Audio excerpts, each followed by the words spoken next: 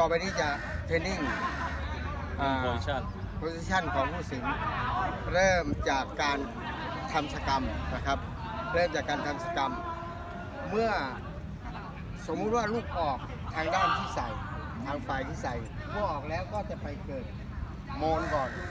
เมื่อเกิด maul แล้วก็จะต่อเนื่องไปด้วยการทำ ruck นะ ruck แล้วก็ต่อเนื่องไปถ่ายนะครับโอเคครับ เริ่มยังครับ เริ่มครับ เริ่ม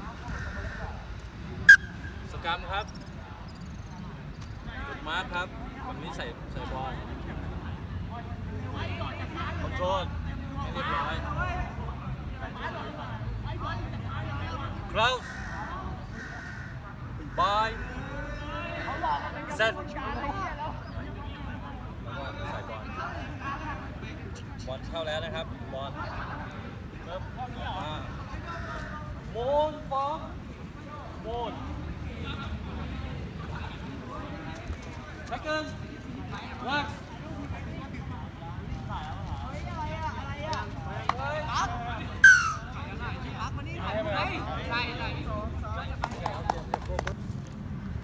ก็โอเคครับทุกขั้นตอนเนี่ยทุกขั้นตอน